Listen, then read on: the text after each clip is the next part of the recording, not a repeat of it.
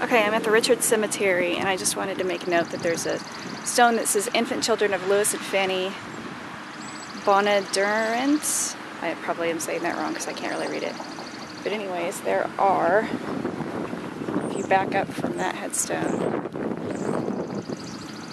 there's one, two, three, four, five. And this one says infant. That one says infant broken one there. That one says infinite.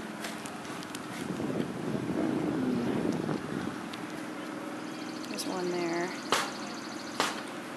And I, there's one over here. I don't know. This cemetery is in terrible shape. That one's for um, James. Uh, it says F A B E something. I can't even read the rest of it. This one's knocked down over here of um, Mr. John Bondurant. And then there's Julia, there's David, um, Mr. E.P. Richards is here, Kitty Hall is there. This one back here is uh, um, Edward.